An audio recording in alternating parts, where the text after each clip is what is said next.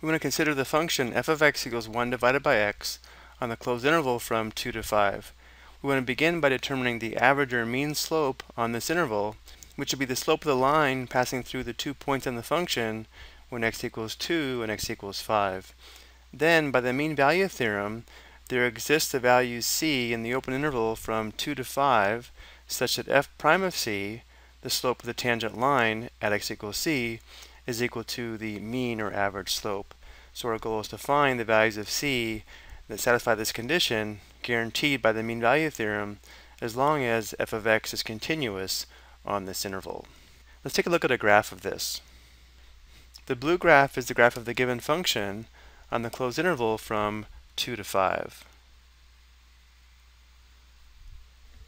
Then the slope of this line here, passing through the two points when x equals 2 and x equals 5 would be the mean or average slope.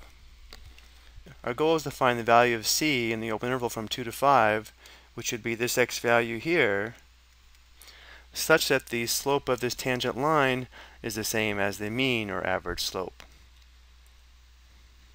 So to begin, let's find the mean or average slope. Slope is equal to the change of y divided by the change of x, or the change in function values divided by the change of x. So on the closed interval from 2 to 5, we would have f of 5 minus f of 2 divided by 5 minus 2, where f of 5 would be 1 fifth, and f of 2 would be 1 half. So we have 1 fifth minus 1 half divided by 5 minus 2, that'd be 3. The common denominator here would be 10, so we'll multiply 1 fifth by 2 over 2 and 1 half by 5 over 5.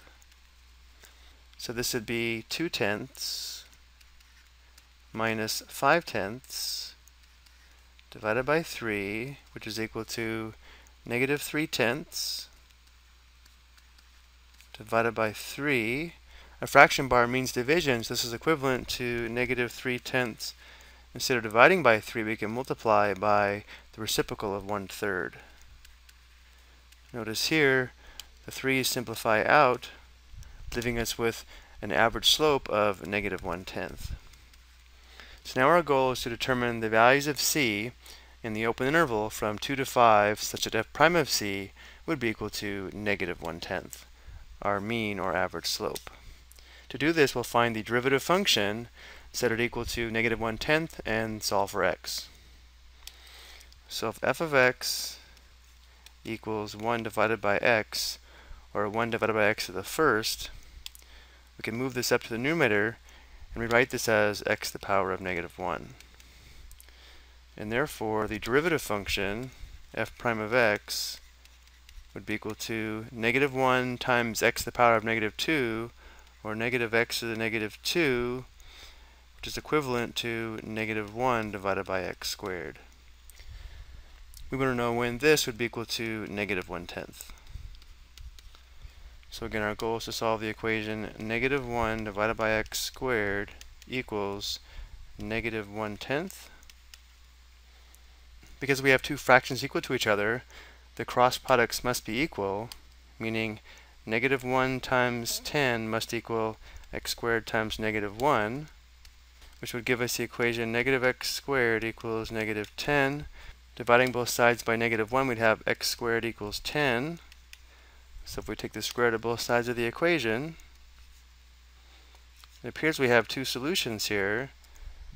x equals positive square root 10, or x equals negative square root 10. But we have to be careful because we're only considering the open interval from 2 to 5. So negative square root 10 would not be in this interval, and therefore the value of c we're looking for is c equals square root 10.